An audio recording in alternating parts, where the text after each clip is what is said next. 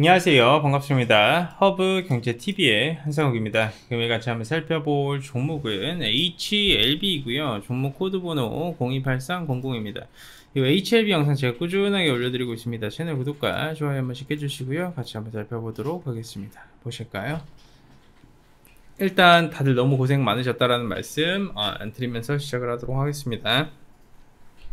전체적으로 시장 상황 자체는 양호했는데 HLB 흐름 그렇게 좋지 않았습니다. 그러면 일단은 현 시장이 우리가 어떻게 흘러가고 있는지 알아야 되겠죠? 그렇죠 저희가 카카오톡 친구 추가해 주시는 분들한테 허브리핑 매일 장 마감하고 무료로 어, 제공을 해드리고 있습니다. 허브리핑 안에 모든 시황 브리핑 다 올려드리고 있으니까 꼭 한번 체크해 보시고요. 우리 HLB 같이 한번 살펴보도록 하겠습니다 어, 조금 좋지 않은 모습을 어, 보여주고 있습니다. 일단은 어저께까지 기준으로 외국인들이 어느 정도 장난질을 치고 있는 부분에 대해서 우리가 캐치를 해놨어요. 그리고 나서 오늘 개파락이 좀 나아졌습니다. 개파락이 좀 나아지고 나서 운봉으로 전환해주는 모습을 보여줬는데 뭐 한국 BNC도 상당히 강한 모습을 보여줬고요. 그죠? 한국 BNC도 상당히 강한 모습을 보여줬고 뭐 HK 이노엔, AB 프로바이어 이렇게 머크사 이슈로 엮인 종목군들 또한 무너지는 흐름을 보여줬는데 요거로 반사이익 수혜를 좀 받아줄 수 있을 만한 이 HLB는 그렇게 크게 반응을 해주지 않았습니다. 그렇게 되면 여러분들도 잘 아시겠지만 제가 제로 제로적인 부분에 관해서는 이날이었어요. 그 9월 이날이 9날 그 이날이었나? 그 연휴 전에 연휴 전주에는 완전히 어, 포트폴리오에 비워야 된다는 말씀 드렸습니다. 왜냐하면 이, 이 상승폭의 길이만 보고 들어오신 분들한테는요. 그게 왜냐하면 재료의 소멸이 있기 때문이에요.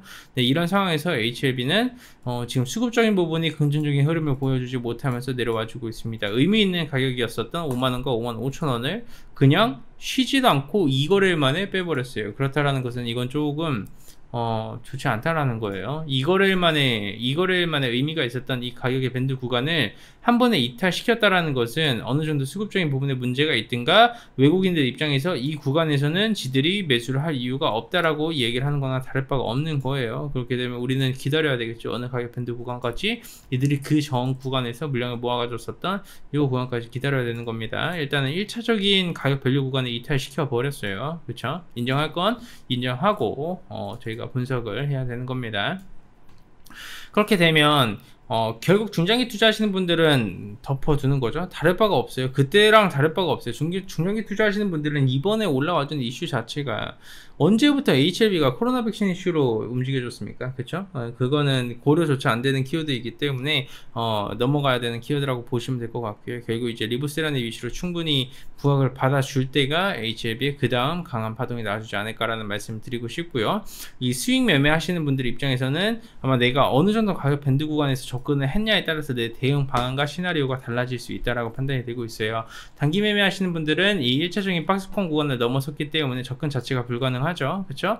수익 매매 하시는 분들 입장에서는 5만 원과 5만 5천 원의 가격 밴드가 상당히 1차적으로 중요한 가격 밴드였는데 이 구간에서 바로 이탈시켰다? 그러면 다시 한 번 더 우리가 실시간으로 봐왔었던 이 구간이었습니다.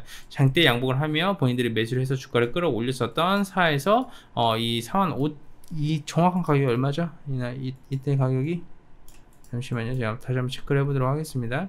45,000원이라는 가격밴드예요. 4에서 45,000원이라는 가격밴드인데 이 구간에서 다시 한번 더 메이저들 포지션을 우리가 확인을 해볼 필요가 있습니다. 1차적인 고가 부근에서의 박스권이죠. 단기 매매하기 딱 좋은 구간이고 2차적으로 세력들이 돈을 써가지고 주가를 끌어올려 줬었던 이 구간이었죠. 차익 실현하고 물량을 받아줬었던 이 가격 value 구간이 중요하고 그 다음 하방 구간 여기까지는 어, 열려 있다라고 보시면서 대응을 하시는 게 맞습니다. 그렇기 때문에 우리 HLB 주주분들 조금 화도 나고 HLB 개잡주라는 소리가 당연히 나와줄 수도 있어요. 오늘 들어와서 JP모건 서울에 120만 주 쇼커버입니다. 어, 대차거래 계속해서 줄어들고 있는 상황, 대차거래 계속해서 줄고 있는 상황이고요. 공매도 포지션은 그렇게 크게 나와주지는 않고 있어요. 공매도를 쳤었던 금투 쪽에서도 어느 정도 어, 이렇게 상환을 해주는 포지션과 움직임이 나와주고 있다라고 보시면 될 것 같고요. 지금 상황에서 뭐 HLB 투자를 하실 때 어, 조금 많이 힘드실 것 같아요. 고점에서 추격 매수하신 분들은 힘드실 것 같아요.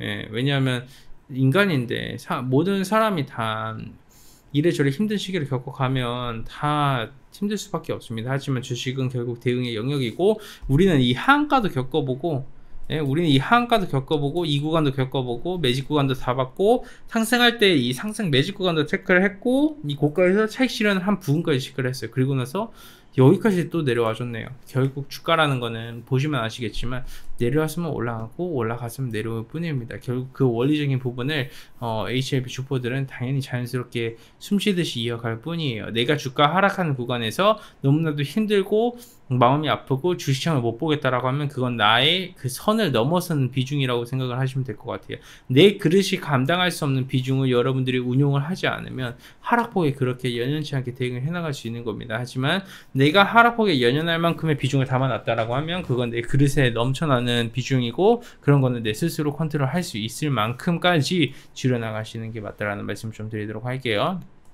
거기 때문에 현 상황에서는 그렇습니다. 외인들 수급 별 모르겠어요. 그렇게 좋지 않습니다. 신한금투에서 140만 주 들어와줬다고요? 이 새끼 죄송합니다. 얘네들이 이동한 이 내려온 동 어떻게 됐죠?